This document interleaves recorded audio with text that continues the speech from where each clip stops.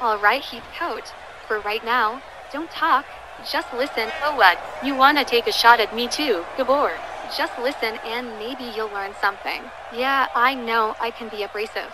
Sure, but I wanted to see if now that we've done a draw for the titles and beat each other so bad the boss has benched us, I thought that maybe you would kind of forgive and forget now. You know, I mean, you and Powers, you've earned your spot, and Faye and me, we'd like to start fresh with you too.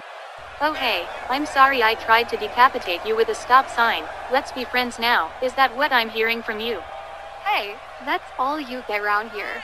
I'm not the type to send a dozen roses, and you're not exactly the type one would send a dozen roses to either. And you can seriously just forget we were trying to maim each other in the ring, huh? Know something?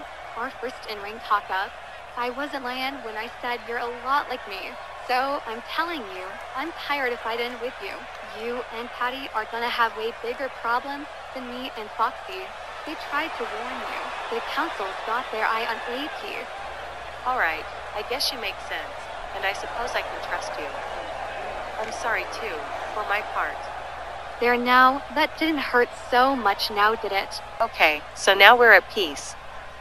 What happens next? Next is me, giving you your first piece of friendly advice.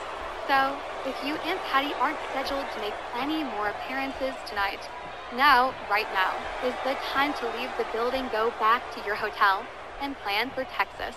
Nothing good's gonna happen here. You heard the council's podcast. They're gonna be scalp hunting again. See you in Texas.